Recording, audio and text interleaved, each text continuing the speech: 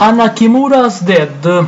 She was a Japanese female professional wrestler who wrestled for women's professional wrestling promotion World Wonder Ring Stardom. Her mother is former wrestler Kyoko Kimura.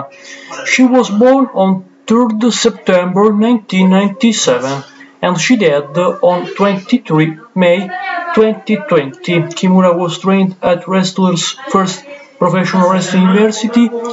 Kimura won the DDT Ironman Heavy Metalweight Heavy Metalweight Championship one time on August 21st, 25 at a live event in Tokyo.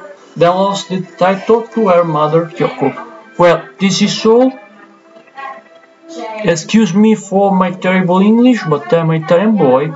Hana Kimura, rest in peace. Thank you everyone. And the informations that you have listened are taken from Wikipedia French Wikipedia, and feel for this reason without copyright.